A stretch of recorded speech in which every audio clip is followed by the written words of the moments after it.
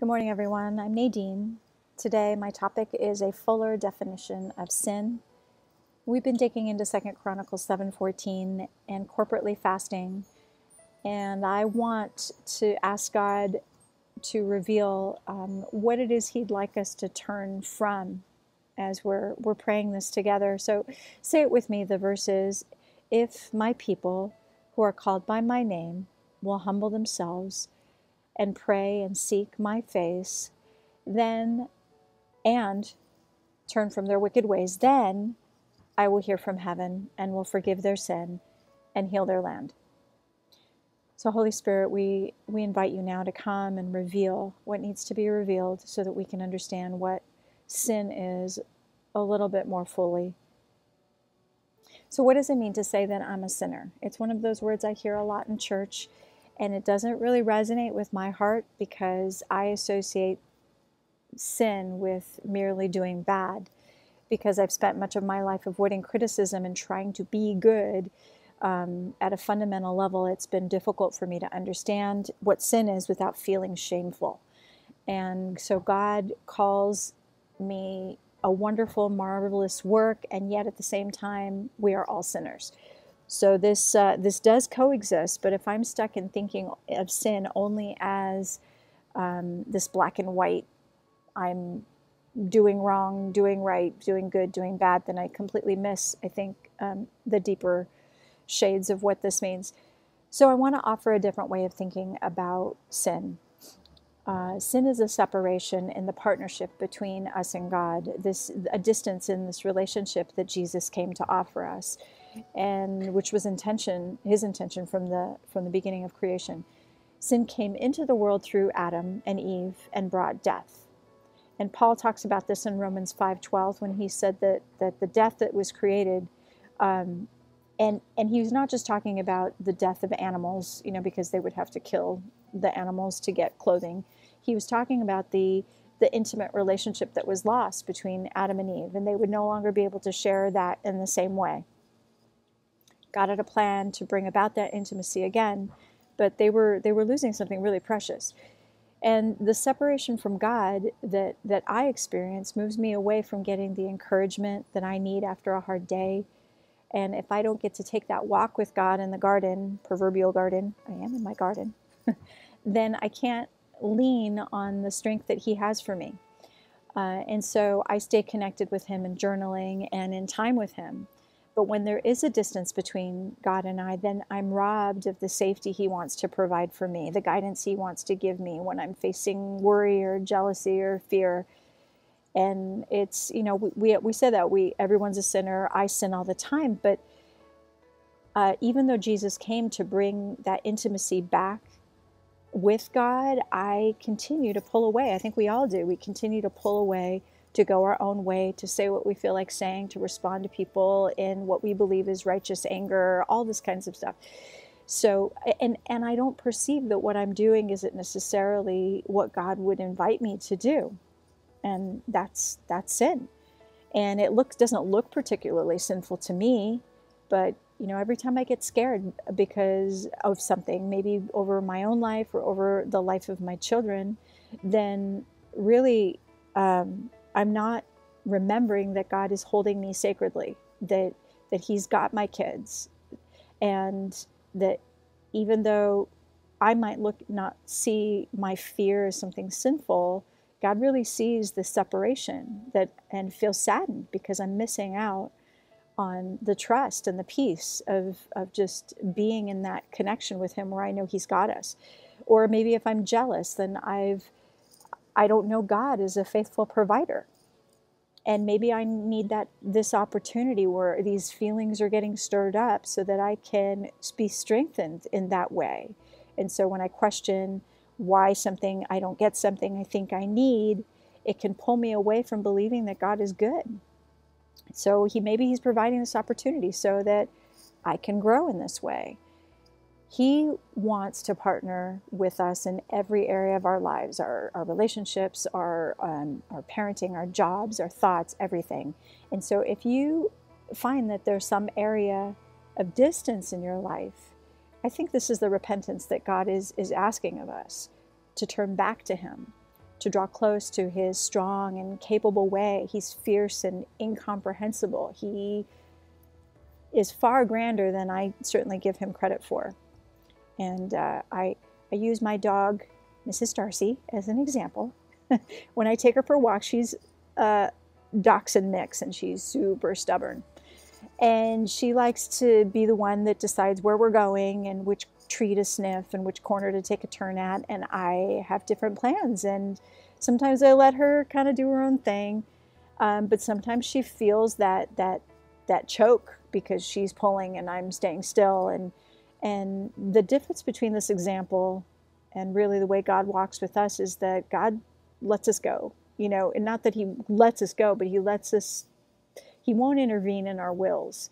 You know, he lets us cross the street. If we're hell bent on doing that, then if we're going to ignore his cautions and ignore his tug in our spirit, he's he's not going to stop us. And and the story of Eve in, in Genesis 3 6 is um, a good example of this. Um, it says, When the woman saw that the fruit of the tree was good for food and pleasing to the eye, and also desirable for gaining wisdom, she took some and ate it. She also gave some to her husband who was with her, and he ate it. So God doesn't stop Eve from disobeying. Eve reasoned in her own mind that the tree was good. God's instruction was clear, and the serpent even asked her, Did God really say that? And she repeated exactly what God had said. So she knew. But on some level, I think she must have thought God was withholding some good from her. God offered her all of the garden except for this one single tree. But Eve saw lack she saw what she didn't have. And perception is everything because our perceptions of what good and bad are off often are way off, just like Eve's was, Eve's perceptions. And Eve didn't have all the information, and God doesn't give us all the information. She didn't understand what it really meant to eat of the tree of knowledge and good, of good and evil. She didn't understand that her eyes would be open to all of the stuff that God was sparing her. And God knows what we need to know and what is not necessary.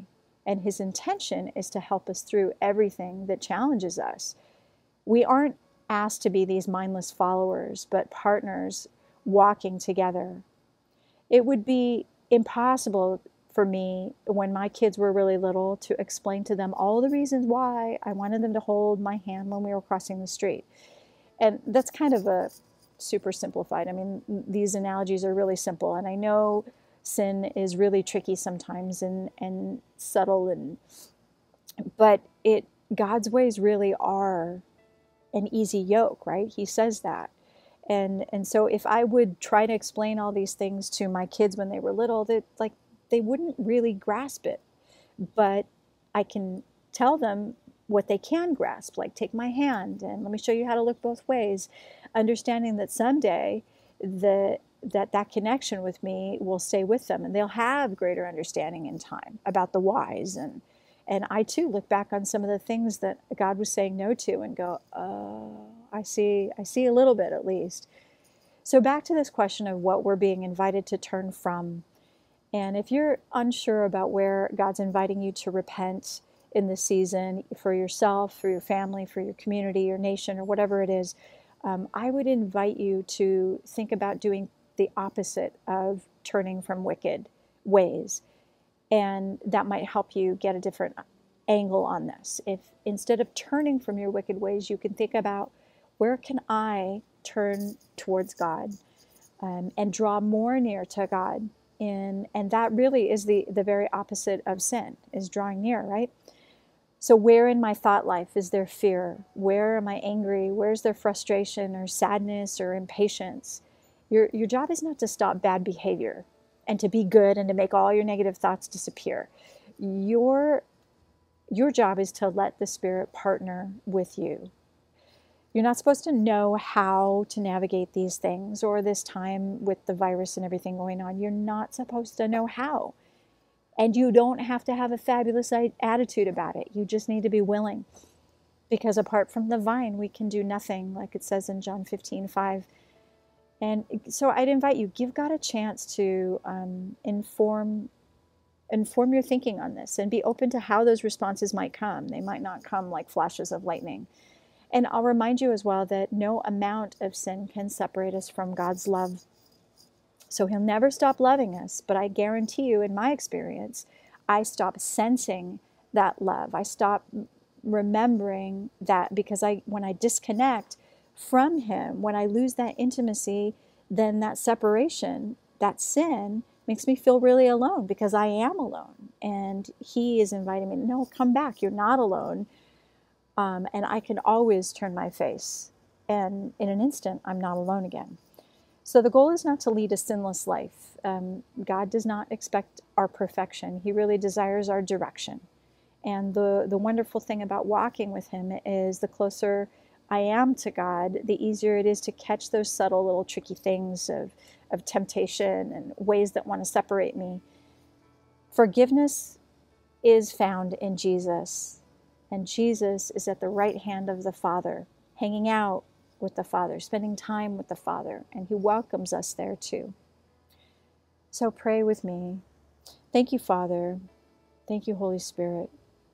Thank you that your very presence that walked through the garden with Adam and Eve is here with us right, right now. I want to confess I have walked alone so much of my life and even through this very day.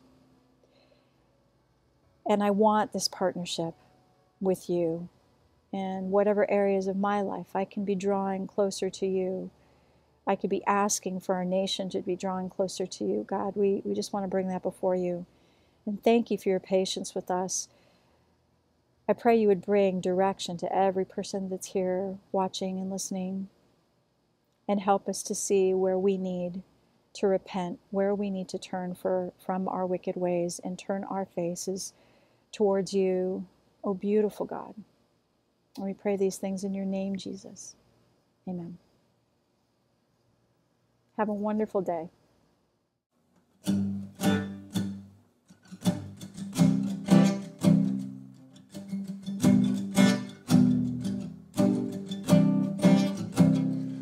Every battle, through every heartbreak, through every circumstance.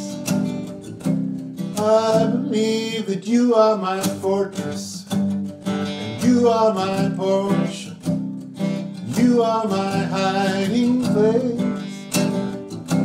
I believe through every battle, through every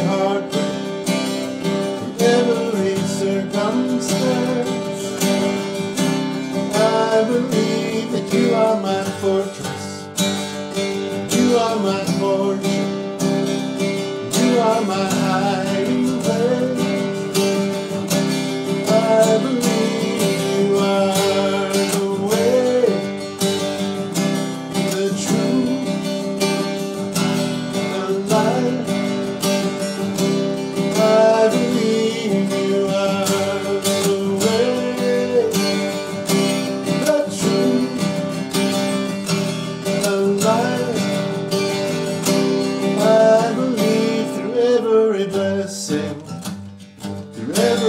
Promise, through every breath I take.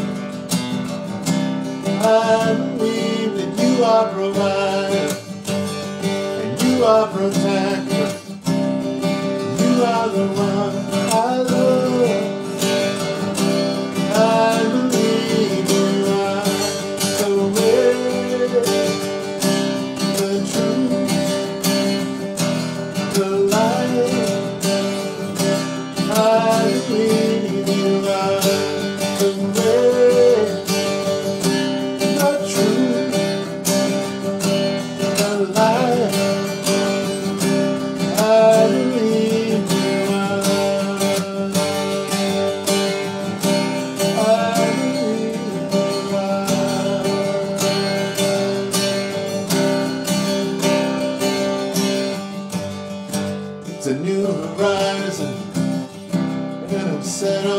you. You me here today. Mercies that I knew, all my fears and doubts, they can all come true. Cause they can't stay long when I'm here with you. It's a new horizon, I'm set on you. You meet me here today kisses and you. All my fears and doubts, they can all come true. Cause they can't stay long.